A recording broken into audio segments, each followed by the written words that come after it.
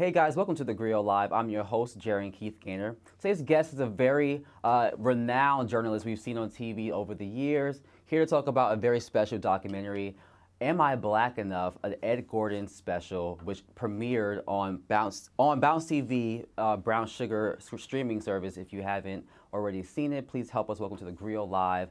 TV journalist Ed Gordon. How are you, man? Mr. Gordon, thank you so much for joining My us pleasure. at the Grio Live. Uh, it's such an honor sitting next to you as a fellow journalist because I've watched you growing up and no, you're a baby. and, and, and obviously your peers and like my like my parents, etc. I've watched you on BET, on PBS, and so many other programs. Uh, of over 30 years, 30 years uh, worth of, of, of work. How does it feel when you look back on your career uh, when you were young and, and, and getting into the into the industry I don't uh, see it versus as now? everybody else does. You know, I mean, for me, it's almost like if you're in it. So you're a grown man. You watch me growing up. I don't see myself as somebody who's had 30 years under their belt. You know, it's just it all runs together for me. Yeah. Uh, but you know, as I gray and I see men and women come to me who legitimately are grown, say, "Oh, I grew up with you," or "My mama loves you," or that kind of thing, you start to realize, you know, how long you've been in the business, and, and quite frankly, what you've meant to the community. And I appreciate that, and don't take that for granted. So. Yeah. And Am I Black Enough? It's uh, interesting documentary because it talks about it talks to us about us. Yeah. And tell us a little bit about the documentary. Why was it important for you to, to, to make it? Yeah, I've always found it interesting that we as a community want to define black. You know, uh, the easy one is skin skin color. Right. From the time we came over, there's this light versus dark thing that's been going on for decades, but it's much deeper and much bigger than that. And you know, you always hear our community talk about if somebody's black enough, uh, whether it be light versus dark. Black Republicans, can you be deemed black enough if you are Republican, particularly with the Trump administration? Um, there's this question of how the black community looks at homosexuality and the gay community, and you know this sense of do, do are they shunned away uh, by the black community? We look at biracial people. It's funny how some people the black community accepts as all black. A lot of people don't know Bob Marley, for instance, is of mixed heritage. Yeah. Um, we embrace Barack Obama now, but I remember when he first came on the scene, a lot of black people were hesitant because, in part, he was mixed. They weren't sure if he was going to be black enough for us. So we take a look at that. We take a look at um, a number of things, and we have a, a star-studded array of folks who really sit down uh, and talk with us. From Samuel L. Jackson, who said something very interesting. He said, "Look, I don't know why we think this is changing. We came from a continent that was tribal. And if you weren't in that tribe, you weren't fully embraced. And now that they brought us over here and threw us all together, we haven't lost that in our DNA. Misty Copeland talks about uh, being appointed the first uh, person of color, female, uh, to be the principal dancer of the American Ballet Theater. She said, Look, I'm sure that a part of the reason I got that is because I'm so fair skinned but it has to start somewhere. And if I can open that door for a sister behind me who's darker, I'm going to do that.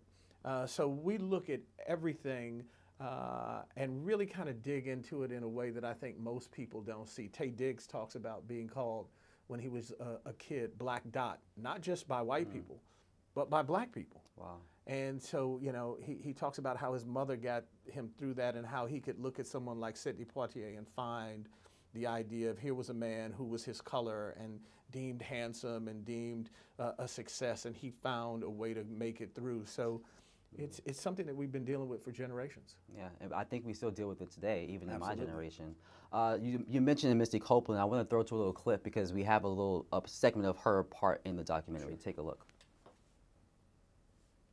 Think about, you know, our government and where we are, and it's like, I just want people to wake up and understand the, you know, systematic racism that's in this world that I don't know if we'll ever overcome.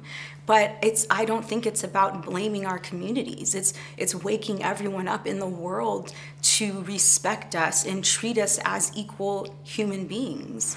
Am I Black Enough? An all new Ed Gordon special, exclusively on the Brown Sugar app February 12th. So she mentioned something very interesting to me. She, she, she said that she wasn't sure if we will ever be able to overcome uh, these divisions and these issues in our community like colorism. Wh- What are your thoughts on that? Do you think that we can we can overcome? It's interesting because I've been on social media looking at some of the responses from people who've seen the show already. And some of the same things that we still wrestle with, even after seeing this, uh, I, I hear people commenting about it. Uh, for instance, Taye Diggs and Wayne Brady are on the show. And a number of people still comment saying they weren't black enough because at one time uh, both were married to white women. And you know both of them talk about the idea that um, you know it was no slight against anyone. I just fell in love with that particular person. So i think it's very deep seated and deep rooted Uh, whether we'll o- ever overcome it i don't know. We've been dealing with it now long before i was born for mm-hmm. generations and generations and generations but we wanted to with this special really take a look at some of the things that we talk about behind closed doors, but we don't typically talk about in public and certainly don't talk about in a program like this. And so mm-hmm. my hope is just to get people talking mm-hmm. because there's this sense of if, if, if you're light, a lot of people don't see you as black enough. But if that's your uh, measuring stick, then what you're telling me is Clarence Thomas is blacker than Louis Farrakhan. And do you really want to live with that? I'll take that bet any day. So it's interesting how we see things. Ha- Has colorism uh, had an impact in your in your personal Oh, sure, life? Sure. I mean, D.L. Hughley talks about, he says, Ed, you know, and D.L. and I have been friends for a long time. He said, listen, you've always been a first rate journalist. I don't know if you were 10 shades darker, whether you would have gotten the same opportunities. Look, if you're light and you're a man, um, you sometimes have to prove yourself to brothers when you walk in the room. They want to make sure, are, you know, are you soft? Are you one of them pretty boys? Are you this? Are you that? So we still dance around those things. Um, I, I brought together two young ladies who both went viral. One because she won a pageant at the University of Texas, Miss Miss Black UT, but she's very very light of mixed race. A lot of people thought that she shouldn't have won because she wasn't quote black enough. I sat her next to a young lady; they were about the same age, who's an Instagram model originally from Cameroon. She talks about how she gets grief from mm. us about being too black. Mm. And you could see the juxtaposition of them that they both went through the same kind of prejudice from us, not from white folks. They get enough of that. We all get that. Mm. But they were getting it from us. We talked to black Republicans who clearly, particularly under this administration, are getting grief from the black community. We say that we're not a monolith. Yet most black people expect you to either know some things. I joke about somebody in your family ought to be able to run a Boston, right? If you're playing cards. And so, you know, there's a sense of we say we're not monolithic, but there's a vast majority of us who expect certain things from our community. So it's interesting. Uh, you've interviewed many prolific people and celebrities, uh, Janet Jackson, uh, President Bill Clinton, Barack Obama, um, O.J. Simpson, uh, which is you know one of probably the more high-profile interviews you've done. What was your what has been your favorite interview over over the span of your entire career?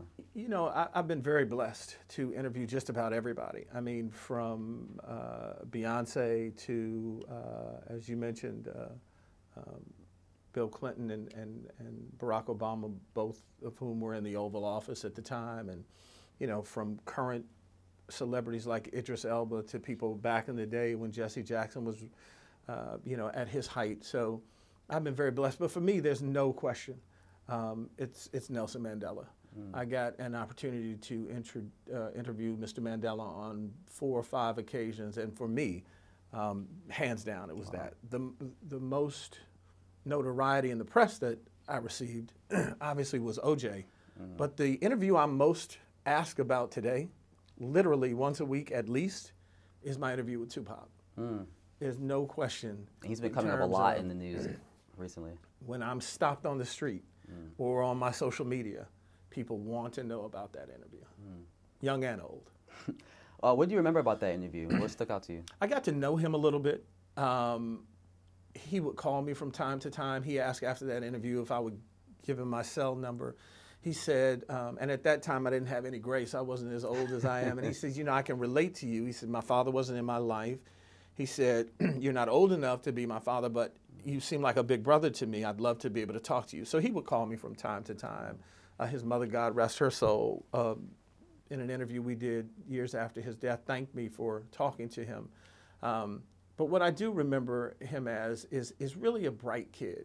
A little lost at times because he didn't have, I think, that male influence to sometimes tell him, look, that's not what a man is. You don't have to do that to be a man. But um, I think we throw the tag genius around a little bit too much. But I'm, I'm, I'm hurt by what we lost in, in losing him so early. Mm. Uh, I don't know what somebody asked me the other day, what do you think he would have become? Mm. I don't know, but the possibilities were endless with him. He had such talent, um, far beyond just rapping. Uh, and it's just another one of those sad tales of, uh, you know, that, that, have been told too often, particularly around black men. Mm, mm, it's powerful.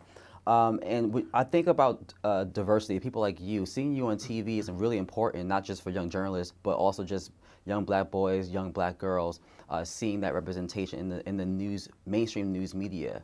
Uh, what are your thoughts on today's diversity in, in media, in, in the mainstream media, but then also how do you feel your show uh, plays a role in that? So here's what's interesting.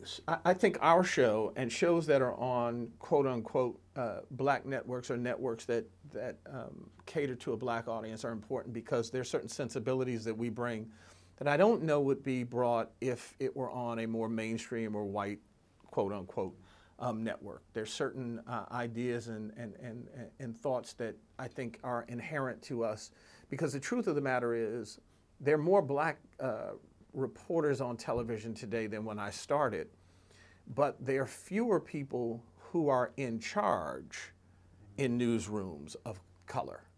That has declined, and so sometimes we get lost with the idea of we see all these black faces and they're anchoring it, but few of them have that total power within the newsroom mm. to make a decision that we're absolutely doing this on a show or I want to make this special. Some, but not enough. So I think it's important that we see ourselves, mm-hmm. but I also think it's important to understand the real power behind the throne, and that isn't necessarily the person who's on the air. Mm-hmm. So while I'm pleased to see more African Americans and people of color and females on the air, I'm disheartened by the fact that there are fewer executive producers and producers and senior vice presidents who are of color and who look like us, who actually uh, run newsrooms. And so I'm saddened by that. Yeah, we have to bridge that gap for sure. Yeah, you hope, but I also think that part of that is we still believe that working at a white network is the pinnacle. And Roland Martin and I laugh about the idea that when we're on white networks, people are like, oh, that's great, you know, great to see you on. When we're on black networks, they're like, oh, yeah, we saw your show, that's great. But when you go on to CNN or when you go on to MSNBC, mm-hmm. we have to start believing that uh, when we do things, it's as good mm. as uh, a program you might do on a major network. Mm.